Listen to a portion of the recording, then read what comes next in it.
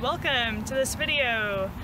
So, on August 16th, the Sun trined Uranus exactly. So the Sun is in Leo, trining Uranus in Aries.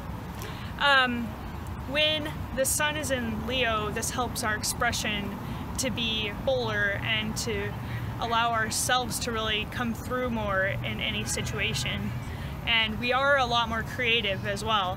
When Uranus is involved, Uranus helps us to be more unique and innovative in our approaches, as well as being able to contribute more to a group situation. So right now we can really express who we are in a community setting and be more ourselves and be more open about the things that we enjoy and the interests that we have.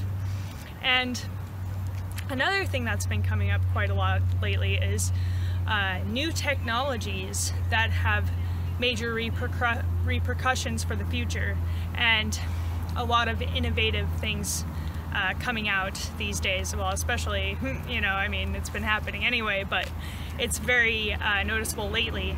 And Uranus retrograde um, has already shown, like, the day that it went retrograde, uh, my printer broke down, my Blu-ray player broke down, and I think something else also, uh, oh yeah, my laptop broke down.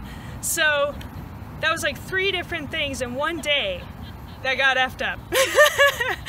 and that was when Uranus went retrograde, so I thought that was crazy, especially considering, you know, people always say Mercury retrograde does all this stuff. Well, Uranus retrograde does it as well, because Uranus rules technology, so it makes total sense.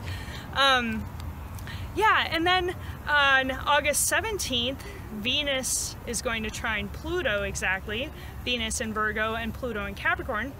So this is going to uh, allow for creativity to blossom from the depths. So any really intense experiences you might have had or eh, like intense emotions or anything like that can really be channeled through something really creative.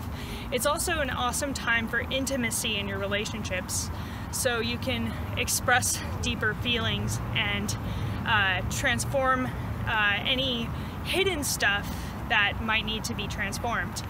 Um, if you aren't in a relationship, then you could find deeper intimacy with someone and uh, maybe find a partner even. And another thing too, since they're both in earth signs, Virgo ruling like service to others and then Capricorn ruling your status and your career, uh, you could express a deeper part of yourself in your career or uh, really channel more creativity into your career as well. Full moon in Aquarius occurs at 2.27 a.m. on August 18th, uh, and that's Pacific time.